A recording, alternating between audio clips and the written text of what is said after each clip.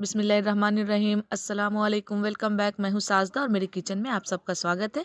कैसे हैं दोस्तों? उम्मीद करती हूँ आप लोग अच्छे से होंगे। आज हम आप लोगों के साथ शेयर करने वाले हैं अंडा बिरयानी की रेसिपी। अंडा बिरयानी खाना किसे नहीं पसंद है? सबको ही ये बिरयानी बहुत ज़्यादा पसंद आती है, पर जब भी बिरयानी का नाम आता है, हम सोचते हैं बिरयानी बनाना बहुत ही बड़ा काम है, इसीलिए ये हमसे नहीं हो पाएगा। लेकिन आज हम आप लोगों के लिए बिल्कुल ही रेस्टोरेंट स्टाइल बिरयानी बनाएँगे, वो भी घर पर बनाएँगे और ये बिरयानी आज हम कढ़ाई में बनाएँगे। चलिए ये इजी और सिंपल तरीके से बिरयानी बनाना सिखाते हैं आपको। इसके लिए हमें क्या क्या इंग्रेडिएंट्स लगेंगे हम देख लेते हैं। हमने यहाँ पे चावल लिए हैं। हमने यहाँ पे जो बिरयानी की चावल आती है, वही हमने लिए हैं। इसके बाद हम इसको अच्छी तरीके से धो के वॉश कर लेंगे और इसको फूलने के लिए हम हाफ़ आवर के लिए छोड़ देंगे। अगर आपके पास टाइमिंग है तो वन आवर के लिए छोड़ सकते हैं। और हमने आलू लिया है, हम आलू और अंडे के साथ बिरयानी बनाएँगे। हमने मीडियम साइज़ के आलू कट कर लिए हैं। इसके बाद हमने यहाँ पे प्याज भी कट करके रखा है। ये देखिए हमने इसे स्लाइसिस में कट किया है और इसको हम दो हिस्सों में कर लेंगे क्योंकि आधा हम फ्राई करके निकाल लेंगे और आधा हम बनाएँगे। चलिए आगे देख लेते हैं। इसके बाद हम यहाँ पे वन बड़े साइज़ का टमाटर है, उसको भी हमने बारीक चॉप करके ले लिया है। इसके बाद हमने यहाँ पे दही लिया है। यहाँ 200 से 150 ग्राम के लगभग दही है, हम इसे अच्छे तरीके से फेंट लेंगे। और हमने एक भी लिया है, एक को हमने साइड करके रखा है। इसके बाद चलिए हम चलते हैं बनाने के प्रोसेस में। हमने यहाँ पे कढ़ाई में पानी गर्म होने के लिए रख दिया है। जैसे ही पानी थोड़ा सा गर्म हो जाएगा, हम इसमें एक को पूरे डाल देंगे। सारे एक को डाल देना है हमें। संभाल के डालें ताकि ये टूटे नहीं। और गैस का फ्लेम हम हाई कर देंगे। इसके बाद आलू भी हम इसी में डाल देंगे। आलू हम थोड़ा सा अंडे के साथ ही उबाल लेंगे आलू को भी। आलू भी इससे थोड़ा सा पक जाएगा। इसके बाद हम इसमें थोड़ा सा सॉल्ट डालेंगे क्योंकि हम आलू डाले हैं। तो आलू में सॉल्ट जो है वो ऑब्ज़र्व हो जाएगा अच्छी तरीके से। इसके बाद हम इसको ढक देंगे। ढक के हम इसको 10 से 12 मिनट तक हाई फ्लेम पे हम इसको पका लेंगे। अगर आप हाई फ्लेम पे नहीं पकाना चाहते हैं तो मीडियम टू लो में भी रख सकते हैं। हम इसे हाई फ्लेम पे बना रहे हैं ताकि ये जल्दी से पक जाए। चलिए, हो गए हैं दस से बारह मिनट, हम देख लेते हैं। ये देखिए, अंडे जो है वो अच्छी तरीके से पक चुके हैं। अब हम इसको ठंडा होने देंगे और इसको हम उबाल लेंगे। एक अंडे देख सकते हैं आप मेरे, वो फट चुका है थोड़ा सा कोई बात नहीं है, सब चल जाएगा। चलिए, हम सारे अंडे को पहले निकाल लेते हैं। इसके बाद हम आलू को भी निकाल लेंगे। आलू भी आधा पक चुका है, आप देख सकते हैं। और बाकी जो आलू कच्चे रह गए वो हम बाद में बिरयानी में पका लेंगे। इसके बाद हम एक कढ़ाई में तेल गरम करेंगे। तेल गरम होते ही पहले हम इसमें आलू थोड़ा सा फ्राई कर लेंगे। जो मेरा हाफ़ आलू पका हुआ है, फिफ्टी परसेंट मेरा आलू पक चुका है। और इसमें भी मेरा ट्वेंटी परसेंट आलू यहाँ फ्राई करते हुए ही पक जाएँगे। हमने आलू में कलर नहीं डाला है। ये इसमें ही गोल्डन कलर का कलर आ जाएगा फ्राई करते हुए। आप देख सकते हैं कितना अच्छा सा गोल्डन सा कलर इसमें आ चुका है। आप इसको हाई फ्लेम पे अच्छी तरीके से फ्राई कर ले। ये फ्राई हो चुका है। चलिए दोस्तों, अब हम इसको निकाल लेते हैं। मेरे हस्बैंड को अंडे के साथ आलू भी चाहिए, इसीलिए हमने इस बिरयानी में आलू को ऐड किया है। अगर आप आलू पसंद नहीं करते हैं तो सिर्फ़ अंडा भी इस पर डाल सकते हैं। ये देखिए, हमने अच्छी तरीके से इसे फ्राई कर लिया है। अब हम इसी पैन में थोड़ा सा तेल रखेंगे और इसमें हम वन पिंच हल्दी वन पिंच नमक और वन पिंच हम यहाँ रेड चिली पाउडर दे के अच्छी तरीके से थोड़ा सा हम इसको पका लेंगे। इसके बाद हम इसमें एक डाल देंगे। ये अच्छी तरीके से थोड़ा सा पक चुका है। हम इसमें एग ऐड कर देंगे। एग में हमने कट लगा लिया है, दो से तीन हमने कट लगा लिया है। आप भी इसको कट लगा लें और इसको हम हाई फ्लेम पे अच्छी तरीके से थोड़ा सा हम सोटे कर लेंगे। इससे अंडे में जो है बहुत अच्छा सा एक फ्लेवर आएगा। आप इसको इस तरह करते हुए, चलाते हुए इसको पकाते रहें। आप देख सकते हैं थोड़ा सा इसका कलर चेंज हो चुका है। अंडे जो है थोड़े से फ्राई हो चुके हैं। अब हम इसको निकाल लेंगे, इससे ज़्यादा हम इसे नहीं पकाएँगे। बहुत सारे लोग अंडे को डीप फ्राई करते हैं। अगर आप उस तरीके से करना चाहते हैं तो वो भी कर सकते हैं। मुझे डीप फ्राई पसंद नहीं है। हमने इसीलिए इसे मसाले के साथ थोड़ा सा सोटे किया है। इससे नमक भी अंडे में थोड़ा समझाएगा। इसके बाद हमने जो दही लिया था, यहाँ पे डेढ़ सौ से दो सौ ग्राम दही को हम अच्छे तरीके से पहले हाथों से फेंट लेंगे, ताकि इसका जो लम्स है वो अच्छी तरीके से निकल आए। आप इसको मिक्सर की मदद से भी अच्छी तरीके से फेंट सकते हैं। अगर आपके पास मिक्सर अवेलेबल है तो। हम यहाँ मिक्सर नहीं है, चम्मच से ही इसको अच्छी तरीके से फेंट लेंगे। ये देख सकते हैं, हमने इसको फेंट लिया है। अब हम इसमें मसाले ऐड करेंगे। हम यहाँ हाफ़ टेबल स्पून से थोड़ा सा ज़्यादा हम हल्दी पाउडर डाल रहे हैं। अब जितना तीखा खाना पसंद करते हैं, वही हिसाब से हम यहाँ रेड चिली पाउडर डाले हैं। और यहाँ हम वन टेबल स्पून धनिया पाउडर डालेंगे। वन टेबल स्पून जीरा और गोल मिर्च का पाउडर हमने मिक्स करके डाला है। इसके बाद हम यहाँ पे हाफ़ टेबल स्पून से थोड़ा सा ज़्यादा गर्म मसाला पाउडर डालेंगे। और इन सबको हम दही के साथ अच्छी तरीके से फेंट लेंगे। इससे मसाले जो है वो बहुत अच्छा सा फ्लेवर आएगा मसाले में, बहुत अच्छा सा ये टेस्ट देगा मसाले को। इसलिए मसाले को हमने दही के साथ पहले फेंट लिया था, क्योंकि भुनने के बाद जब हम दही डालते हैं तो दही जो है वो फट जाते हैं, इसलिए आप इस तरीके से इसको कर लें और इसको अच्छी तरीके से फेंट लें। इससे जो सील बट्टे में हमने जो मसाले जो पीसते हैं ना, उसका ये स्वाद आएगा आपको, अगर इस तरीके से आप दही में मसाले को मिला के रख देंगे तो। हम इसको 10 से 15 मिनट के लिए छोड़ देंगे, तब तक हम दूसरा स्टेप कर लेते हैं, चलिए। हमने यहाँ पे एक कढ़ाई गरम कर लिया है और जो हमने यहाँ पे आलू फ्राई किया था, वो जो तेल बचे हुए थे, उसी तेल में हम पहले प्याज को फ्राई कर लेंगे। हम यहाँ हाफ़ प्याज को फ्राई करेंगे, जो हाफ़ बचा के रखे हैं, वो हम बाद में डालेंगे। हम प्याज को हाई फ्लेम पे अच्छी तरीके से गोल्डन ब्राउन होने तक पकाएँगे। आप इसको चलाते हुए गैस का फ्लेम हाई कर दें और इसको हाई फ्लेम पे आप गोल्डन ब्राउन कर लें। आप देख सकते हैं, ये गोल्डन ब्राउन हो चुका है। अब हम इसको निकाल लेंगे, चलिए। ये अच्छी तरीके से फ्राई हो चुका है। इससे ज़्यादा पकाने से ये ओवर कुक हो जाएँगे और जल भी जाएँगे।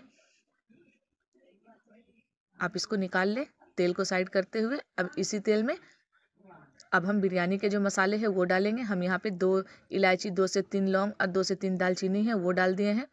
और दो यहाँ हम तेज़पत्ते भी डालेंगे और इन दोनों को थोड़ा सा हम सौटे होने देंगे। जैसे ये थोड़ा सा सौटे हो जाएँगे, इसके बाद ही हम इसमें जो बचे हुए प्याज है ना, वो ऐड करेंगे। हमने जो हाफ़ बचा के रखे थे, हमने प्याज के दो हिस्से किए थे। आप अगर इसे वज़न में देखेंगे तो ये टोटल 300 ग्राम के लगभग प्याज है।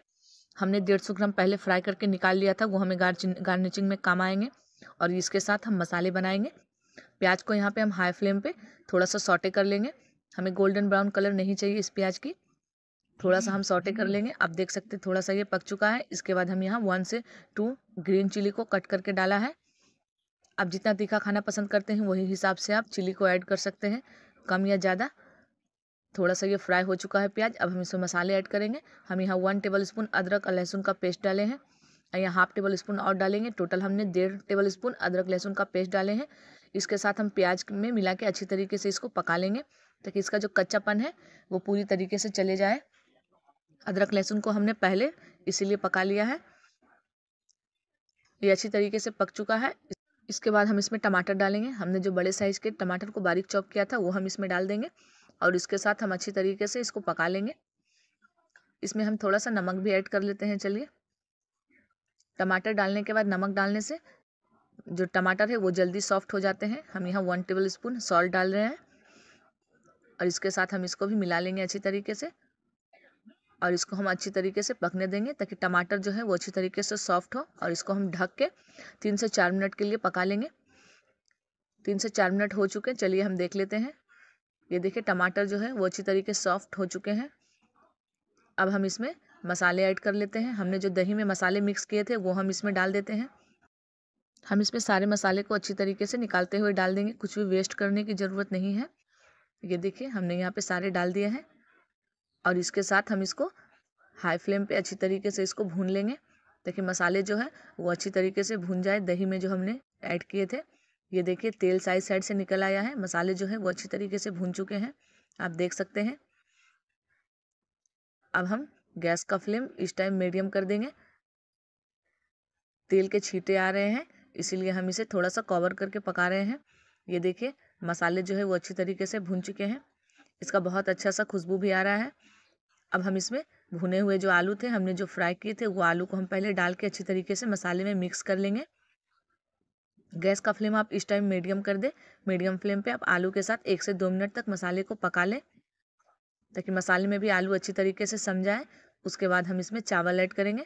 हमने चावल को हाफ़ आवर के लिए भिगो के रखा था। तब तक हमने पूरा प्रोसेस किया है, आपने देखा है।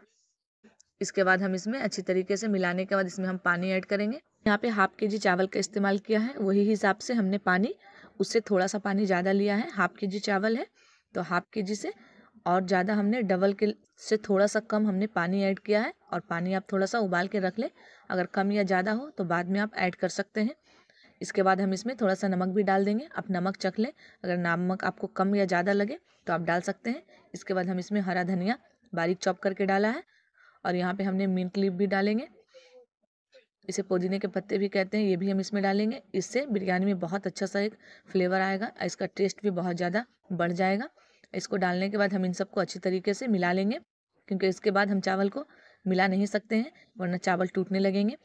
इसके बाद हमने जो यहाँ पे फ्राई किए हुए जो एग रखे थे, वो हम इसमें सजा देंगे अच्छी तरीके से। एक पके हुए हैं, लेकिन फिर भी इसमें डालना ज़रूरी है।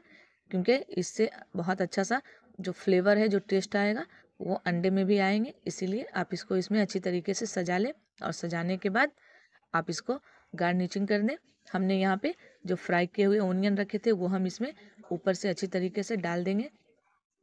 डालने के बाद हम इसको अच्छी तरीके से सजा देंगे। आपने कभी इस तरीके से अंडे बिरयानी बनाया है क्या? आप हमें कमेंट में ज़रूर बताएँ दोस्तों। हमने इसको यहाँ पे अच्छी तरीके से सजा लिया है, आप देख सकते हैं। इसके बाद हम यहाँ पे रोज़ वाटर लिए थे थोड़ा सा और इसमें हमने थोड़ा सा अतर डाला था, दोनों को मिक्स करके हमने ऊपर से डाल दिया है और इसका ढक्कन हमने बंद कर दिया है। शुरुआत में हम इसको तीन से चार मिनट के लिए हाई फ्लेम पे रखेंगे, गैस का फ्लेम जैसे ही एक उबाल आ जाएगा, हम गैस का फ्लेम लो कर देंगे। लो फ्लेम पे हम इसको 10 से 12 मिनट तक पकाएँगे। 10 से 12 मिनट हो चुके हैं। आप देख सकते हैं, चावल कितने खिले खिले से लग रहे हैं। चावल में पानी बिल्कुल भी नहीं है। हम आपको स्पून की मदद से दिखा देते हैं। ये देख सकते हैं, ये कितने क्लीन निकले हैं। हम आपको एक बार और दिखा देते हैं। ये देखिए, चलिए साइड से भी दिखाते हैं। इसमें बिल्कुल भी पानी नहीं है। इसका मतलब ये अंदर से अच्छी तरीके से पक चुके हैं। ये देखिए, हम आपको निकाल के भी दिखा दे रहे हैं। कितना अच्छा चावल भी कितने खिले खिले हैं। चावल भी बिल्कुल ज़्यादा सॉफ्ट नहीं हुए हैं। एकदम परफेक्ट है, जैसा हम लोग चावल खाते हैं बिरयानी का, एकदम ऐसा ही है। और ये ठंडे होने के बाद ये चावल जो है वो और खिले खिले हो जाएँगे। चलिए हम आपको सर्व करके दिखा देते हैं। आप इसको गर्मा गर्म सर्व करें। ये देखिए, आप इस तरीके से बिरयानी बनाएँगे और ये झटपट भी बन जाएगी और बहुत ज़्यादा देरी भी नहीं लगेगी आपको ये बिरयानी बनाने में। हम इसको मिंट लीफ के साथ इसको गार्निशिंग कर रहे हैं। अंडे में जो हमने कट लगाया था, हमने उसी में मिंट लीफ थोड़ा सा सजा दिया है ताकि देखने में अट्रैक्टिव लगे और हमने यहाँ पे प्याज के कुछ स्लाइसेस रख दिए हैं और हम यहाँ दही के रायते के साथ इसको सर्व करेंगे। जब इस तरीके से आप मेहमान के सामने जब ये बिरयानी सर्व करेंगे तो कोई नहीं बता पाएगा कि आपने इसे घर पे बनाया है। और जब भी आपका अंडा बिरयानी खाने का मन करे तो आप इस तरीके से ज़रूर ट्राई करें और ये बहुत ईजी भी है और बहुत सिंपल भी है, बहुत जल्दी भी बन जाती है। अगर आपको मेरी ये रेसिपी अच्छी लगे दोस्तों तो आपसे रिक्वेस्ट करती हूँ कि प्लीज़ नीचे दिए गए रेड बटन को दबा के मेरे चैनल को सब्सक्राइब कर दीजिए और ये रेसिपी दूसरों को भी ज़रूर शेयर कीजिए। एक बेल पे से ज़रूर ट्राई करें दोस्तों। तब तक मिलते हैं दूसरे रेसिपी में। तब तक के लिए अल्लाह हाफिज़।